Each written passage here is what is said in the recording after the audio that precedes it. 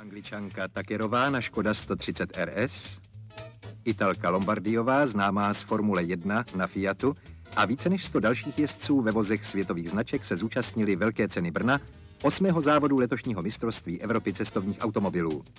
Naše Škodovky nehrály mezi nimi ani tentokrát druhé housle.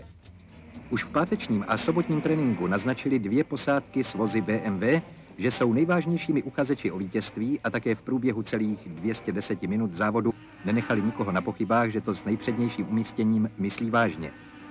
V pěti divizích s obsahem motoru od jednoho až nad 3 litry triumfovala mladoboleslavská posádka Zapadlo Michl na Škoda 130 RS.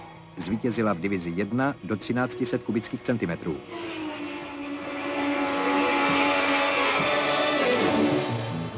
O vítězství nerozhoduje jenom síla motorů a schopnosti jezdců na trati, ale i profesionální zručnost týmů mechaniků v depu.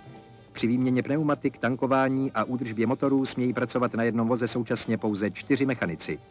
Souhru a zručnost našich pracovníků v depu si pochvalovala zvláště anglická závodnice Takerová.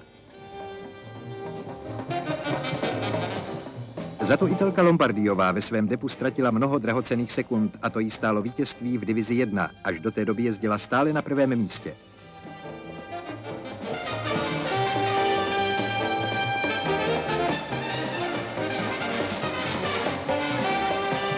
Milan Zapadlo na voze Škoda 130 RS využil příležitosti a vyjel z depa na trať už jako prvý a razantní jízdou zajistil vítězství československé posádky v divizi 1.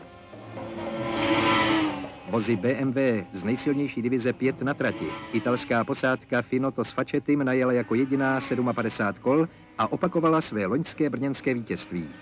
V letošním mistrovství Evropy cestovních speciálů jsou Finoto s Facetim po osmi závodech zatím na druhém místě.